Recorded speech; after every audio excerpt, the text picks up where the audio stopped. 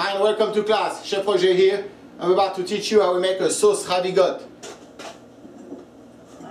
What is a sauce ravigote? It's a thick mustard vinaigrette in which we mix some diced shallots, cornichon, capers, mixed herbs. Here I have some parsley, chervil, tarragon, and a chopped hard-boiled egg. It's not been chopped yet. I'm going to do that with you.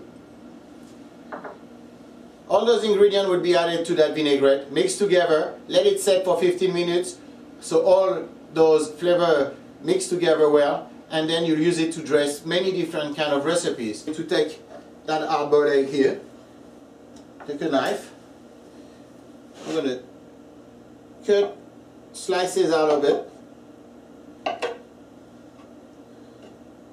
cut all those slices in half and then I'm just to chop this like that.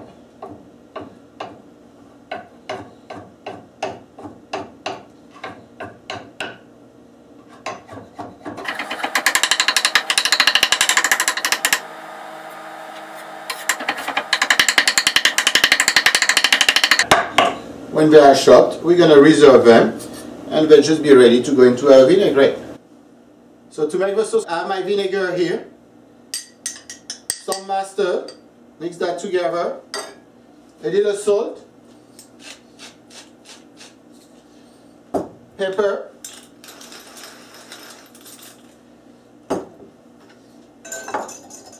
and now I'm slowly going to add my oil into that.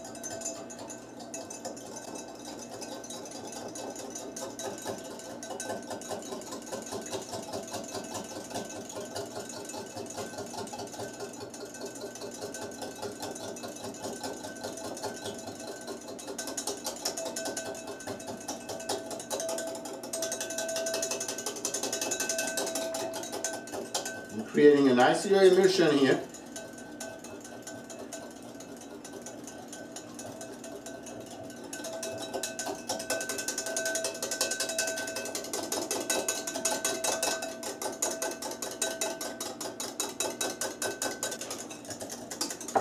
Now I'm going to add my shallots, cornichon, chopped capers,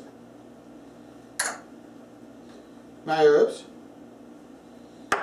and my egg. I'm actually going to switch to a spoon now to stir that around. If I was to use the whisk, I may just crush everything here and I just want to make sure I just stir it in so it looks nice, you know, and it doesn't just discolor my old vinaigrette because if I start using the whisk and stirring the skipper and cornichon, everything's going to turn kind of brown here. So anyway, this is it. This is how you make your sauce ravigote. Thank you for watching. I hope you enjoyed that quick demo. Bye-bye.